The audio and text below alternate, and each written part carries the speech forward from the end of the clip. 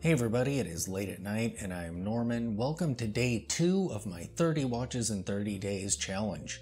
Tonight we're going to be going over another affordable watch that I have that I purchased brand new. So let's take a look at it.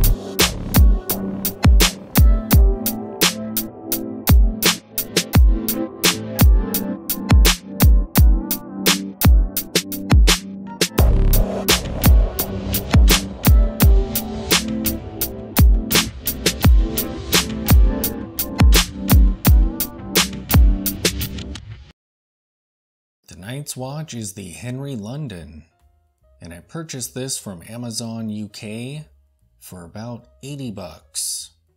So this watch was purchased brand new, and just look at this thing. It looks totally vintage, and you can't even tell that this is a cheap watch. A lot of times there'll be indicators so even if you're cool with an inexpensive watch, a sub $100 watch, there's usually something about it that betrays how inexpensive it was. And as much as you don't want to be biased about that, it just happens. Other watches will end up uh, getting chosen first. This thing has really narrow lugs, which is kind of cool. This thinner strap looks great on this watch. I love the minimalism. This is a quartz piece, and it's a two-hander, which is perfect. It's kind of flying under the radar there. And look at the texture on the dial. That is just crazy. The distortions on the crystal are pretty cool. To me, this watch just looks kind of like a mid-century cocktail party. It's kind of like the uh, poor man's cocktail time or something. So this watch actually gets some wrist time here and there. And every time I wear it, it just looks absolutely amazing.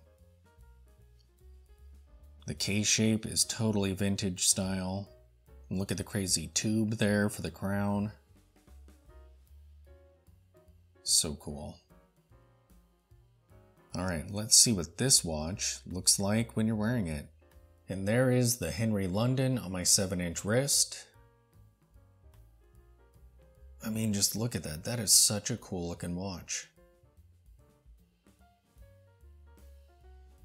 Absolutely brilliant. I'm not sure if you can still get these for $80. They're a bit more expensive normally, uh, I forget exactly how much. I think they're around 150, 100 bucks, something like that.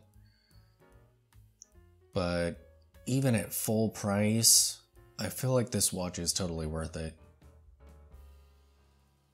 It's absolutely classy, and you can't even tell that it's super inexpensive, like I mentioned.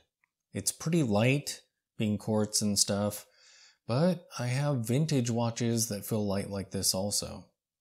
And those weren't cheap at the time. So, such a great, classy dress watch. And you could just pick it up and go. Very cool.